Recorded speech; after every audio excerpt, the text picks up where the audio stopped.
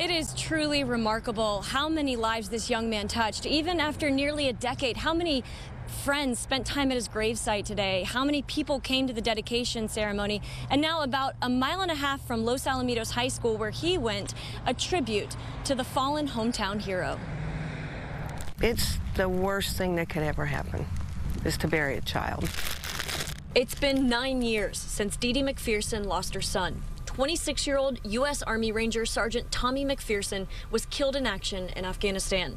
It was two weeks before the team leader was supposed to come home from his fifth deployment. He yelled out, I'm hit, I'm hit. And they asked him where he's hit, and he said in the leg. Well, that means you don't have to go to him and really help him. You can go do what you need to do. If he had said in the chest or, you know, somewhere else, they would have gone to him. Was he really shot in the leg, or did he just No. say that? Okay. He was shot in the heart. Yeah. So they say he was like a hero for that. The husband and father of a now 10 year old grew up in Long Beach and graduated from Los Alamitos High School.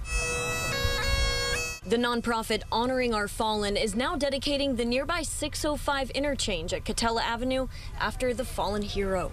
They say a hero remembered is never forgotten. Remembered with the Purple Heart and Bronze Star Medal with Valor, among many other awards, and now with part of a freeway named after him. A young man who, like so many, fought and gave his life for our freedom. Freedom isn't free, and it really does take men and women to step up and and go around the world to protect our freedoms and our country. And we did a lot of good. Um, you know, we can't go into parts of the world and think that we're going to change the way they are. We just aren't. Well, they have a different way of living and thinking, but we can go and help them. You know, let people be try to give them some freedom. And I just wish we would have gone in there, took care of business, and gotten our booties out of there. you know, but we took 20 years. Tommy was shot once. He was the only one who died that day, but there was a young man standing right next to him who was shot 13 times and has survived. And that's what Tommy's mom says that's how she knew that it was his time. They're hoping to install that freeway sign in the next couple of weeks. Reporting live at Los Alamitos High School, I'm Haley Winslow, Fox 11 News. And you think about all those people that died after Tommy over the many years as well. So his mom just seems remarkably strong. How does she do it?